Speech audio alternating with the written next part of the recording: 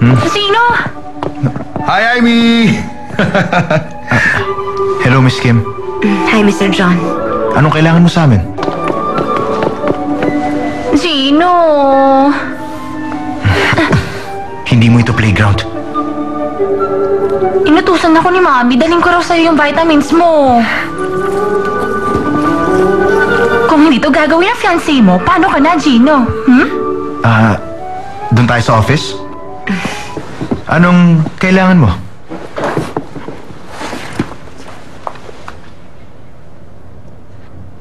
Invitation yan para sa Architects Ball. Major sponsor sa event ang MS Group. Kapag umaten ka sa ball, marami kang makikilalang VIPs ng Damn Art Academy. Thank you, Miss Kim. Pwede mo namang ipa-deliver to, di ba? Nagabala ka pang pumunta rito. Dahil sa akin kaya ka nalagay sa alanganing sitwasyon. Gusto kong mag-thank you in person. Wala yun. Don't mention it. Sagutin mo.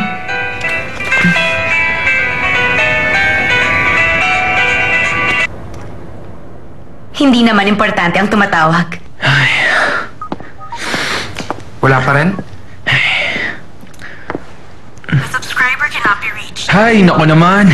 Ikaw kasi, sabi ko sa'yo, tawagan mo siya bago pumunta rito. Kanina ko pa siya tinatawagan pero hindi niya sinasagot ang cellphone niya. Hanapin na lang natin siya sa building para hindi masayang pagpunta natin. Hindi ba right hand siya ni Director Ano ba? Choi?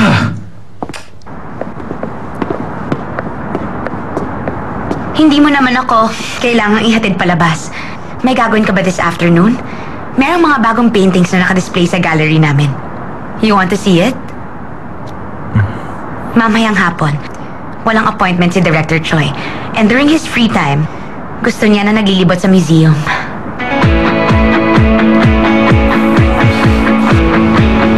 Uncomfortable tumira sa Sango J? Hindi naman. It's not that bad. Mukhang okay lang sa'yo ang tumira. Sa iisang bahay kasama si Julian. Paano ba ako makakabawi sa'yo? Marami ka nang naibigay sa aking information. Hindi enough ang mag-thank you lang ako sa'yo. Kung okay lang sa'yo, i-treat mo ako ng dinner. Okay, sure.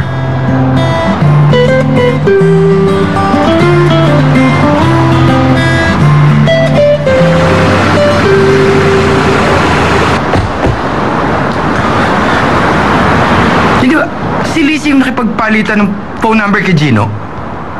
Paano niya yung nagagawa? Alam naman niya relasyon niya ni Lizzie. Mukhang may affair sila. Inform me kung kailan ka free. Kapag nakuha mo ang project dahil sa tulong ko, Mr. John, hindi lang dapat dinner ang kapalit nun. Alam ko. Thanks for the ride. Alamin mo ang lahat ng ginagawa ni Gino John.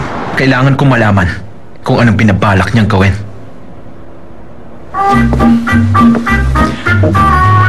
Director Choi, nagkakamali ka ng iniisip tungkol sa akin. Hindi ganun ang orientation ko. Um, isang misunderstanding lang yung nangyari. Hindi ako mahilig sa lalaki.